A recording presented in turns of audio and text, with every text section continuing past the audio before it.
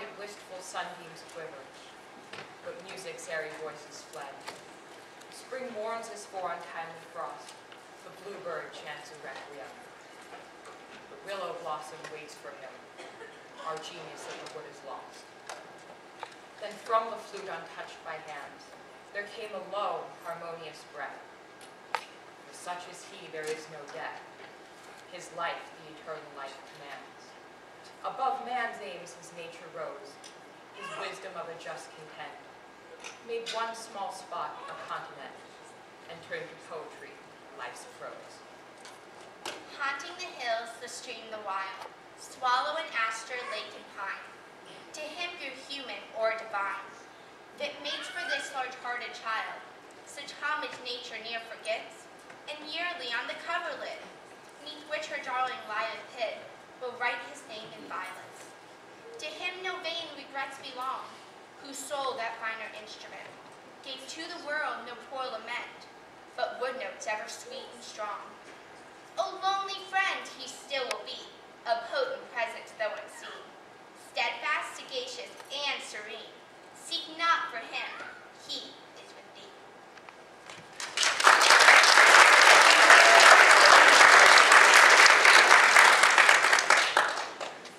Welcome everyone to Secondary's performance of The Night Thoreau Spent in Jail. The poem we just recited was by Louisa May Alcott, a very good friend of Henry David Thoreau. She wrote the poem after he died. From that poem, we learned that Thoreau was very much into nature, and we will see more of that later on in the play. To prepare for this play, we learned a lot about transcendentalism to better understand Thoreau and Ralph Waldo Emerson and the time period in which they lived. Henry David Thoreau was a pacifist, and though there were pretend guns in this performance, the thrust of the play was his desire to protest against violence and war and slavery, and his quest to find equality and peace for all human beings.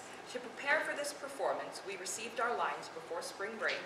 We have intensely gathered props and practiced our lines on block and blocking this entire week to prepare for tonight's show. Also, there are going to be two actors playing Thoreau, one for each act. They will both be wearing gray vests, so they will be easy to identify. We also remind, wanted to remind you to please turn your cell phones off. And there should be no flash photography, since it could distract the actors. A special thanks to Glenridge Performing Arts Center, especially Ben Turoff and Alex Newberry for helping us for the last couple days for tonight's show. Be prepared to be transported to early 19th century America, Concord, Massachusetts.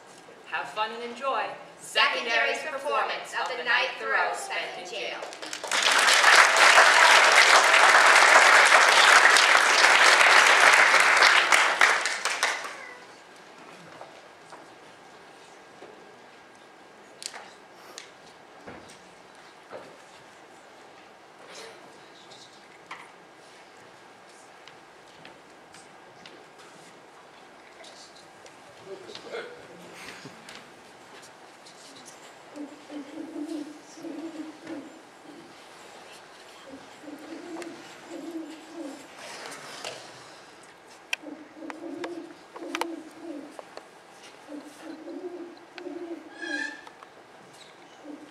What was his name? Whose name? I've forgotten the name of my best friend. Did you ever have a best friend? The boy who put the gloves on the chickens. Henry? I keep thinking his name was David.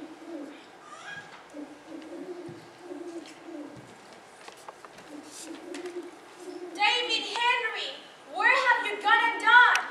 I've not gone and done anything, Mother. I've gone and not done something, which very much needed not doing. Oh, good heavens! Louisa! David Henry's gone and not done something again! Henry David, David Henry, you're being strange again! He was strange. I almost understood him. Sometimes. Sometimes I don't know who you are. I myself, Mother.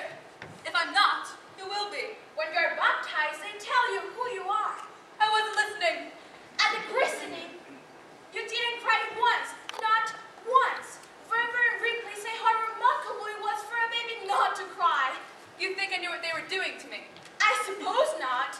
That's why I didn't cry. He was the saddest happy man I ever knew. The happiest sad man, I think. I- He worked on Sundays and took the rest of the week off. Who's this? Sure Kane. Oh, yes, my, uh, yes, my cane. It, it helps me walk. I wouldn't mind you being so peculiar, but I have to work getting so hard, David Henry. Henry David, Oh, getting everything backwards. How do you learn your letters? must the alphabet begin with A? Why not with Z? Oh dear. Or mix them up. Start with H. Start with Q.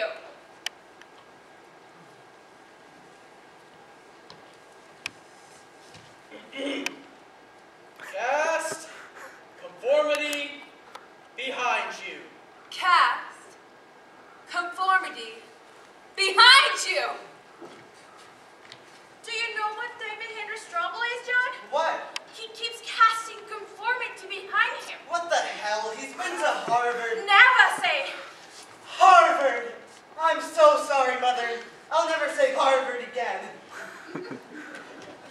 now, here's a rare specimen. Is this one wild or tame? Wild, I think. Known to haunt the woods and ponds. Dull plumage. But a wise bird. Americanus. Something or other. I've got it. It is the species. Brother! John! Welcome home. How's your overstuffed brain? I've forgotten everything already. Well, at least you've got a diploma from Harvard. No, I don't. Why not? They charge a dollar, and I want to pay it. But think how much Mama would love it. Your diploma from Harvard, framed on the wall. Let every sheep keep his own skin. But it's evidence that you've mastered all the branches of knowledge. All the branches, none of the roots. John, I get more from one man, not even a professor, than I did in four years of academic droning and snorting at Cambridge. And the strangest thing, he wasn't a stranger. I knew him. I'd seen him. You know him. You walked by him on the street. You say hello. He's just a man, just a neighbor. But this man speaks and a hush falls over all of Harvard. And there's a light about him. It comes out of his face. It's not the light of one man. I swear to you, John, it's the light of all mankind. Idolator. Is this the earth? I hope so. No! It is you and I and God and Mr. Emerson and the universal mind. And Aunt Louisa. Yes, Aunt Louisa, false teeth and all. I know it isn't easy to think of Aunt Louisa swimming in the Milky Way. But that's the way it thinks, I'm sure of it. And if she can't keep afloat, you'll dive in and you'll save her. But now that you've turned your backside on Harvard, what do you plan to do? I think I'll think for a while. That will be a change of college. But what do you want to be? Do you have any idea? Yes, I know exactly. I want to be as much as possible like Ralph Waldo Emerson. In my lecture tonight, I think I read one paragraph twice. I lost my place.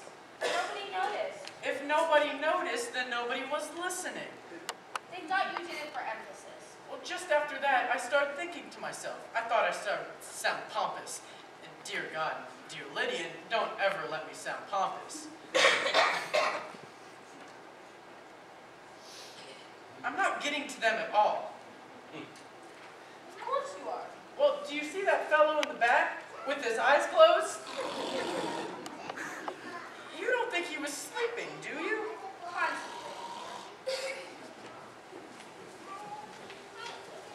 My friend, What? every human being has an inalienable right to snore, provided it's not include other men's inalienable right to snore. We couldn't hear what's going on. Nothing goes on in here. Not half the time. Then day, night. Don't make much difference. Did you hear that? I didn't hear nothing. Just a bird. Just a bird? Can you make it sound like that?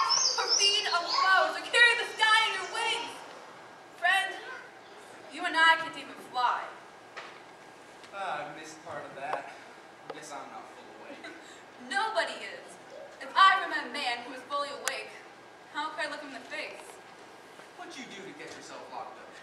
What do you think? Well, a man who talks educated like you, he can't have done something small. Must be murder, or worse. That's what I've done by their lights out in the dark. Murder or worse. No. I refuse to commit murder.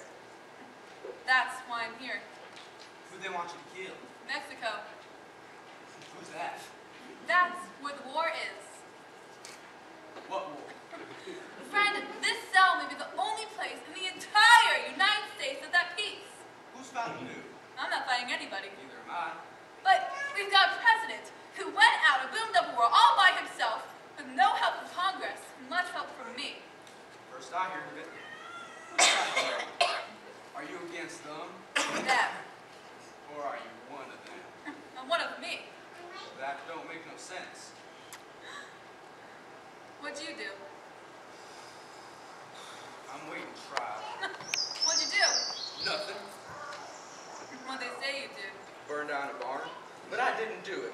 All I did was snuck in to try and get some sleep, and I guess the sparks from my pipe fell in the hay. Tell them that! Telling time's a trial. That's what I've been waiting here for for three months. You've been locked up in the cell for three entire months waiting for a chance to say that you're innocent? That's about it. That's outrageous. Sam! Sam No, Staples! don't make a ruckus. I'm not a troublemaker. All I want to do is earn my keep, make a little tobacco money, and get along. Get along! Those would turn my stomach. Mister! What's your name? Bailey, Mr. Bailey, what do you hear? nothing except footsteps Footsteps of what? of a man, I guess. Where is he walking? I would, how would I know? I know where he's going. He's going where he's supposed to go, so he can be where he's supposed to be at the time he's supposed to be there. Why? So he'll be liked. My God, what country of us only want to be liked? But to be liked, you must never disagree. You never disagree, it's like only breathing in, never breathing out. A man can suffocate on courtesy. Common good be damned. Give me something magnificently uncommon. Uh, I don't understand what you're saying, but it is a marvel to hear the way the words roll out. I'll put it in plain Anglo-Saxon, Mr. Bailey. You're an uncommon man who's protesting the barn builder who shut you with clapboard and daily working hours. Don't say that to no judge. If I burn down the barn, they'd throw me in jail. Where do you think you are? Might as well have done the deed you didn't do. But I'm not a man who goes around burning things down. Good for you. Fire on the inside brings harder than fire on the outside. A man's conviction is stronger than a flame, a bullet, or a rock. Oh my God. I wonder if Bill can be here for three months. Who'll be my bee patch? Maybe I can get some brain work done. It feels good to talk to a smart fella. I bet you can even write. Sometimes. I wish I was a writer. If I could write my name, I'd die happy. Well, you're better off than most fighters. Bailey isn't a hard name at all. I know the start of it. I'll teach you the rest. Okay, ready? B. Big, A. I. I, L. L, E. No, no, no, right here. A, Y. Y. I'll leave this jail an educated man. Must be a teacher. Being a teacher is like being in jail.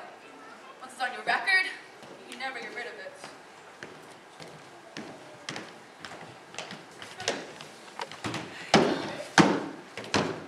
Okay, students, hold your hand in front of you like this. Does anything my nose and my fingers? No. Nothing? There are millions of tiny dancing particles whizzing back and forth, running into each other, bouncing off. Stars, worlds, planets, universes! Right here. Now, I give you a mystery. How do we know these particles are here? How indeed? Oh, in private desk in the classroom. The chairman of the Concord School Committee, Deacon Ball. I'm not here to interrupt your shared curriculum. Thank you, sir. These particles, Just an observer, that's all I am. scientists have Try to forget him in the room. Try, sir.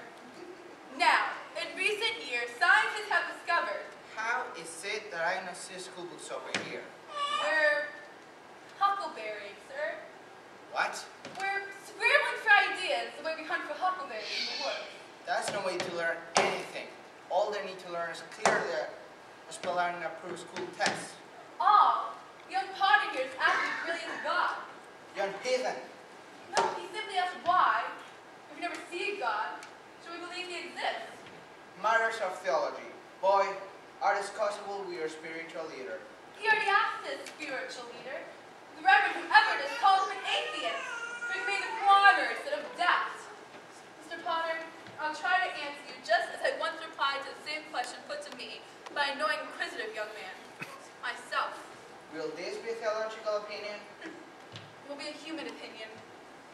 Now, if I go into a shop and see all the nicely finished wheels, gears, pinions, and springs of a watch spread neatly on a bench, then later find them put together exactly and working in unison to move the hands across the dial which has passed the time, do I believe that this piece have been flung together by blind chance? Certainly not. I believe that somebody with thought and plan and power has been there, and intelligence. An intelligence that governs the universe. And in this worship service, we shall celebrate our gratitude to that intelligence. Let us pray. Nor do I believe the sun rising over Concord this morning was an accident. I hope you saw it, Mr. Potter. And you too, Deacon Ball. It was a brilliant sunrise. We are all related, Mr. Potter, and interrelated to a universal mind. That's atheism. I've often wondered, Deacon Ball, if atheism may be popular with God himself. Transcendental blasphemy. The universal mind is the divine part of all of us, and we partake, knowingly or not, to the wonders of that universal mind. This all doesn't make any sense to you, Mr. Potter. That makes sense to me. You will teach textbooks, sir. I find your textbooks from behind the century. Find them so? Yes, sir, I do. And you choose to ignore the books which has been prescribed by the school committee? My students have the ache of curiosity, which I'm afraid your proscriptions will not cure. Silence! You will show respect to your elders, and your schoolmaster will teach strictly according to test and Huckleberry. Class, you've heard the deacon. We shall stick to the approved books. Your eyes must not wander from the page to look at a leaf or an unauthorized butterfly. You must not listen to a cricket or smell a flower without the authorization of the school committee. You must hold those ears and shut your nose. They may have to go an extra hand to do so. Silence! Is this a credit you show to the municipality which feeds your mind? You will show decent respect. Make them be silent, sir. the lack of order in this classroom most certainly be reported to the full school committee, which I intend to call an extraordinary session tonight. Henry, give the man a penny apology. Why should I? So they won't cut you off from the class. If you're stubborn, what will happen when Potter asks questions?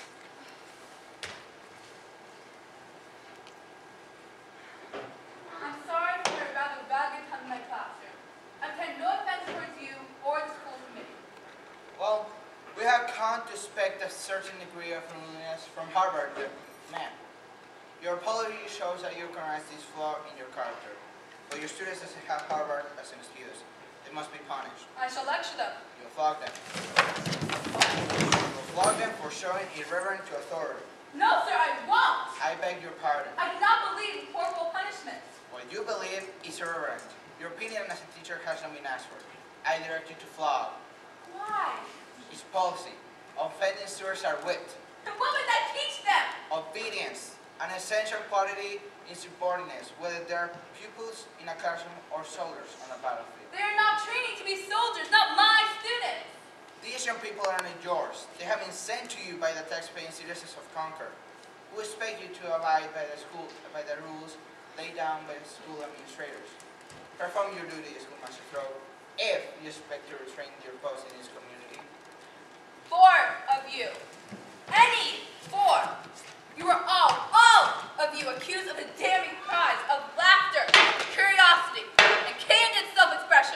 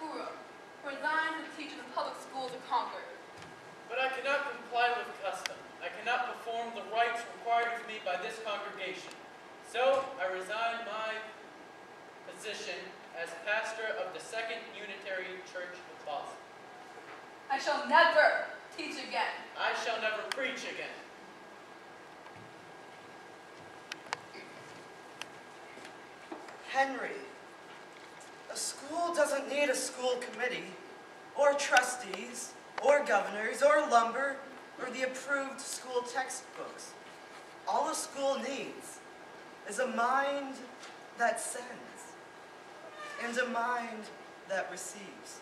Nobody teach anybody anything. Of course not. Teach them how to teach themselves. Our own school, John.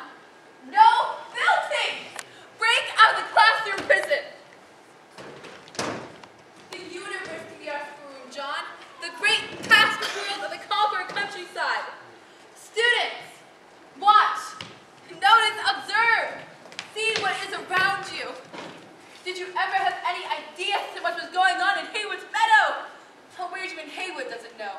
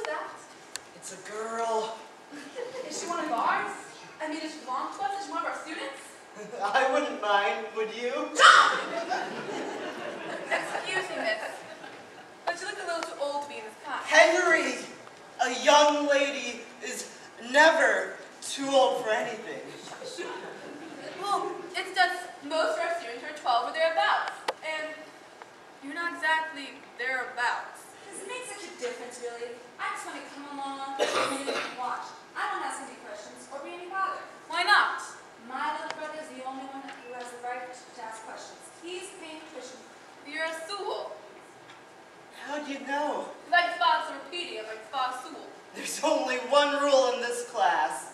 No rules, so you're welcome to tag along whenever you like. You're John Thoreau. I'm in Thundercloud. Henry.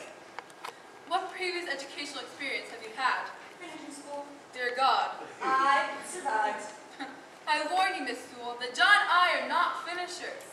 Nobody leaves with a smooth surface. We rough up the consciousness, scrape the marks off young minds.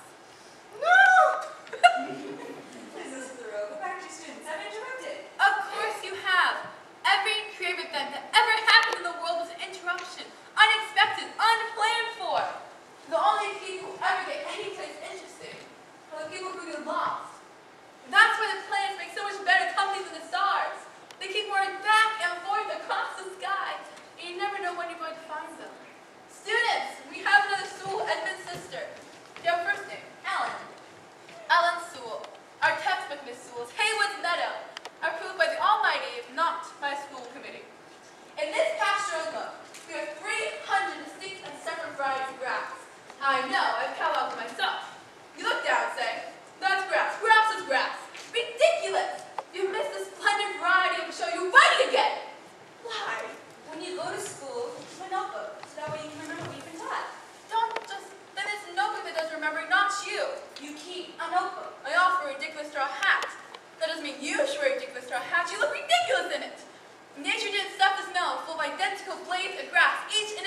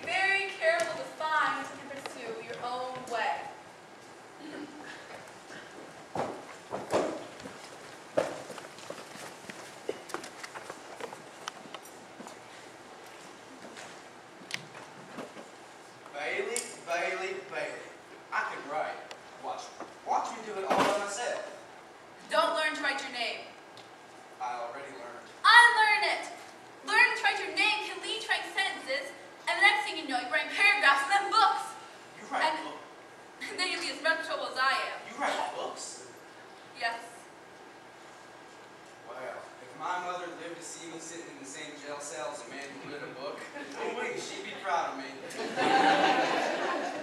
Tell me something. Do you make up all the words yourself? Now and then I stick in a word two's been used before. There must be a fortune in it. I hear tell some books cost more than a dollar. I have a library of nearly 900 volumes, 700 which I wrote myself. My friend, give up your literary career.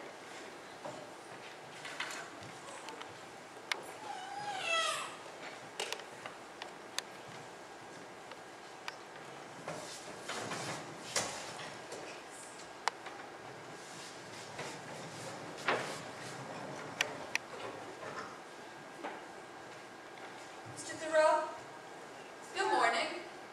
I, I came to tell you that you should wait for Edmund. Just go ahead and step across the room. He, uh, will make him... I hope he's not ill.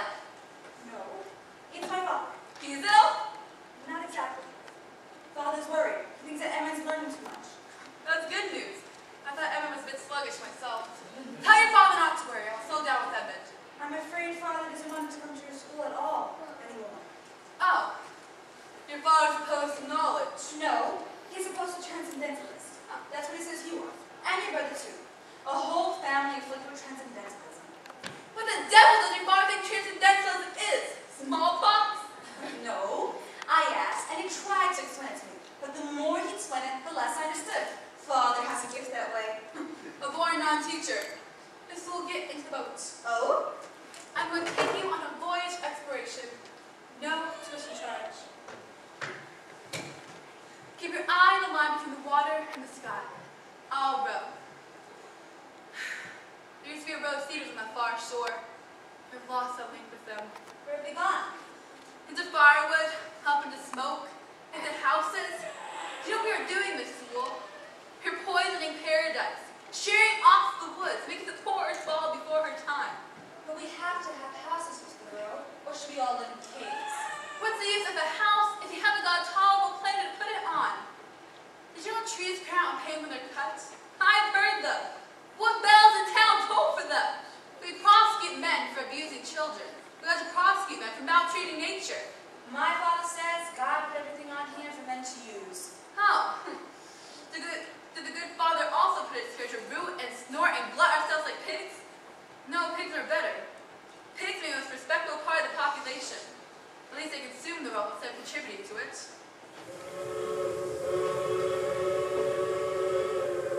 Hear that? I like railroads far better than a horse and a carriage. Why? It's smoother and much faster. And dirtier and uglier? Thank God men haven't learned how to fly. They waste the sky as well as the earth, chop down the clouds. That's transcendentalism, Mr. Thoreau? No. Yes, it is in a way. Take your father, for example. Do you love the man? Of course. Why? He's my father. Is he beautiful? Dear me, no. Can he create beauty? Play, play a musical instrument?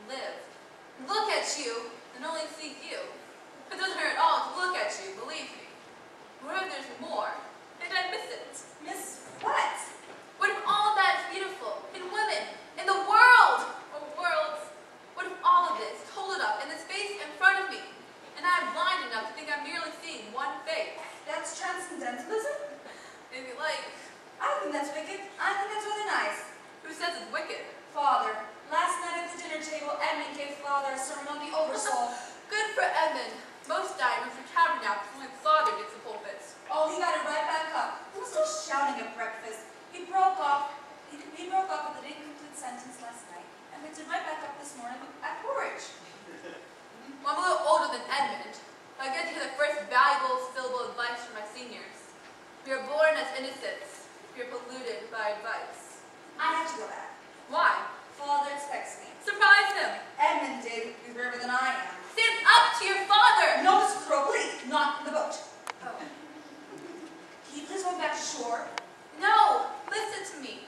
If I were to say, I love you, Sewall, Miss Sewall Ellen, you wouldn't think much of it as a statement of fact. You knew it's only an echo, a mouthing of something somebody told me to say. But if I were to say, I love you, out of myself, out of my experience, from lack of it, then you and God had better believe me. Mother, Henry's in love. Oh, who is he in love with? It's a church-going, educated girl. Oh, thank God.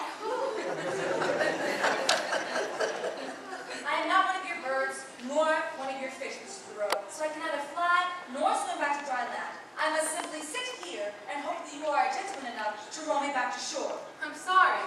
I'll row you back to shore on one condition. I have to accept it, Come to church on Sunday. but you don't even go to church. Of course not. Why should I have the Sabbath spoiled by a sermon?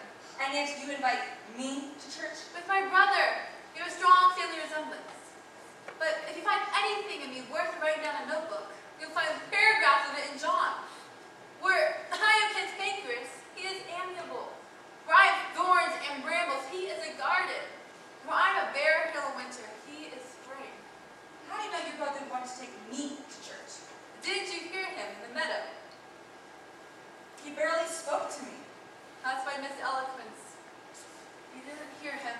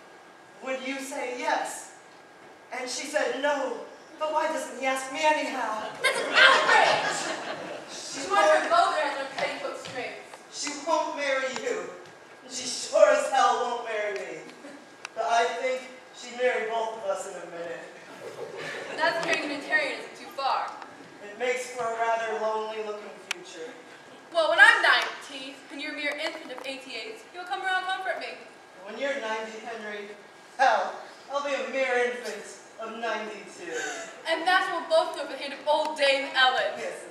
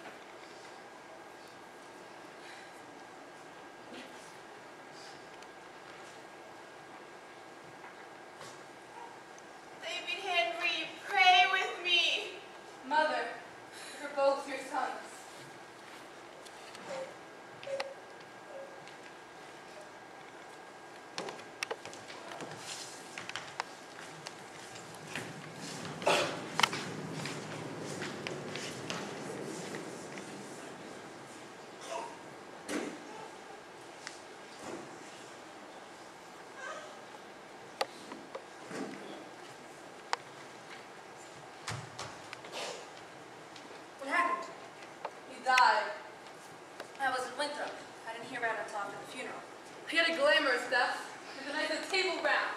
They slashed at each other brusquely swords, we all died of blood poisoning. I don't understand.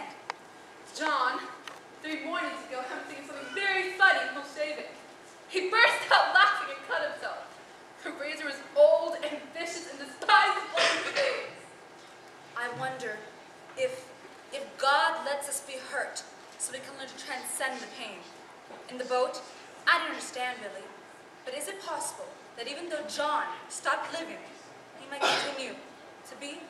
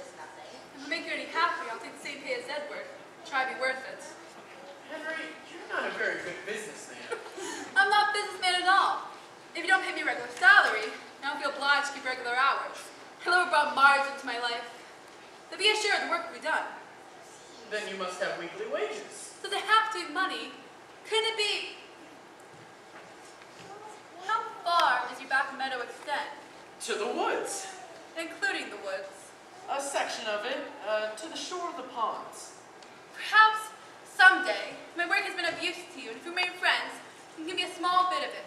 Just a small square, no bigger than this room. Not as a gift, though. I don't want to own it. Simply as an understanding between friends who know that the woods really belong to the woodchucks anyhow. What will you do with it? I don't know. An idea I have. An experiment. Henry have his parcel of woods for his experiment? Well, I'm not too sure what this experiment is about, but if the woodchucks don't object, then why should I? Thank you, Doctor. I mean, Waldo. Don't be too much a stranger, Henry. Uh, I might interrupt your work now and again. If you could help me mend a cracked wall or pull a few weeds in my lecture writing. I'm not a polite man. Be as frank with you as I am with Back Meadow. Not many people understand that young man. He wants nothing. Perhaps he was too much.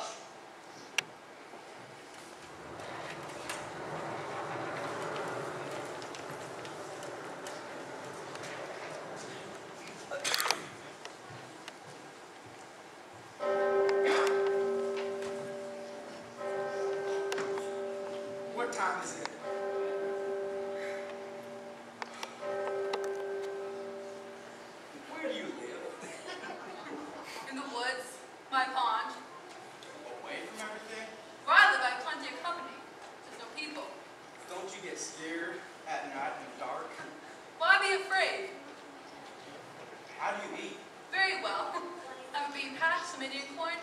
Now and then Walt took a fish two. What happens in winter? It snows. So I don't have to go to the pond for fresh water. All I have to do is reach outside, grab a handful, melt it, and it's sweet as the sky. There are a few things you need in town, though. They walk into town. You have condescended to pay a call on civilization, Mr. Thoreau. Briefly, reluctantly. How is life among the savages? If I long enough, Dick, you may find out. Hello, Henry. Hello, Sam. Uh, what's wrong with your shoe? What's wrong with my shoe? Got sick. Look wrong with my foot, sick shoe. Cobbler, curate. Uh, Henry, I got something for you. Huh? I can't. Now imagine a man as busy as you are could, with you talking to the birds and talking about them fish. Actually, it don't occur to you to think much about taxes. You I don't think much of taxes. They gotta be paid. Why? It's the law. Henry, I'm not blaming you for being forgetful, but it might surprise you to learn you haven't paid your taxes in two years. Look, Henry, I got this order. I got it certified. Thanks, Sam.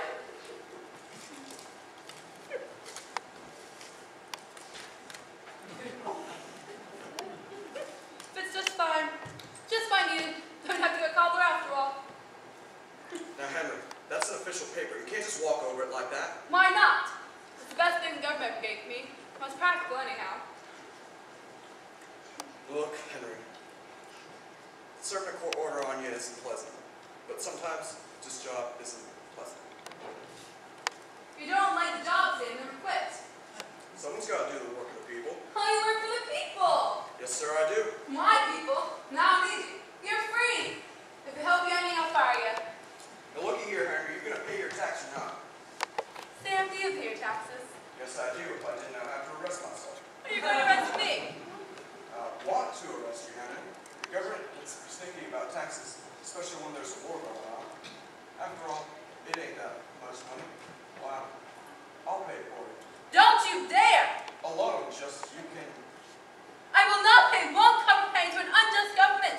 I will not pay the tithes and charity to the church, so I signed up from the church. Why am I already signed up from the government? Where do I sign, Sam? Where? You can't do that. Why not?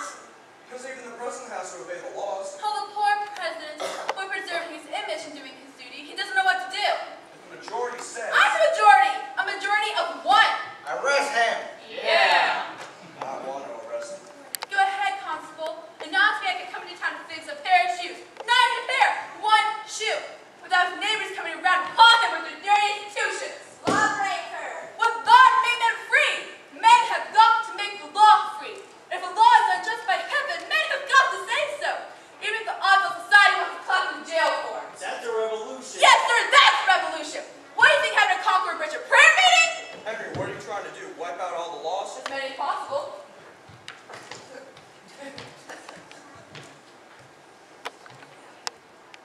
Somebody better go tell them off where you want them up in society. Society's running up against me. All I was doing is minding my own business, going to the cobbler, and it was anything from the government. Will actually take from me. Throw him in jail! Go ahead, Sam, clap me in chains, drag me off to jail. Something must be almighty wrong when a man's so willing to go. Sam, it's quite simple. What the government of this country is doing turns my stomach. And if I keep my mouth shut, I'm a criminal to myself, to my God, to society, and to you, Sam Staples. You want a dollar from me? Well, if I don't approve the way the dollar thing spent, you're not going to get it. I swear I can't figure what makes you so ornery, Henry. Have you heard what they're doing down in Washington? Well, I don't have much time for newspapers, and I read slow. Then open up your ears. Find out what your hired man is doing in the White House. He's not just my president, he's yours too. no, sir. I'm not paying his salary. He's fired.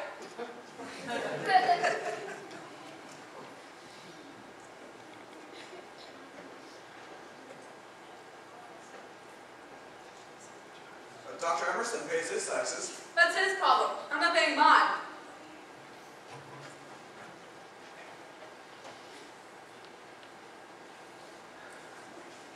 You're gonna drive me off to jail.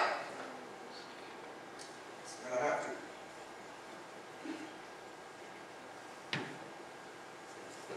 Cut me to Bastille. Bye-bye.